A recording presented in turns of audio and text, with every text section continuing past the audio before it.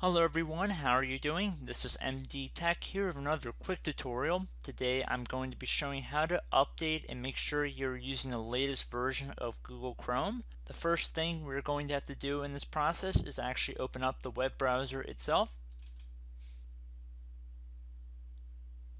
At the top right, the menu icon, which is three straight lines, you want to left click on that near the bottom of this list, there should be something that says help. And when you hover over it, another menu appears next to it. You want to click on the first option on this new list that says About Google Chrome. What this will do is it'll bring up the version number and if there are any updates to be installed, it'll say Google Chrome is downloading and you will have to restart the browser at that point. But this page will allow you to manually check for updates now Google Chrome does automatically check for and install updates, but if you're looking for updates that it may have missed, this is a good method to find out.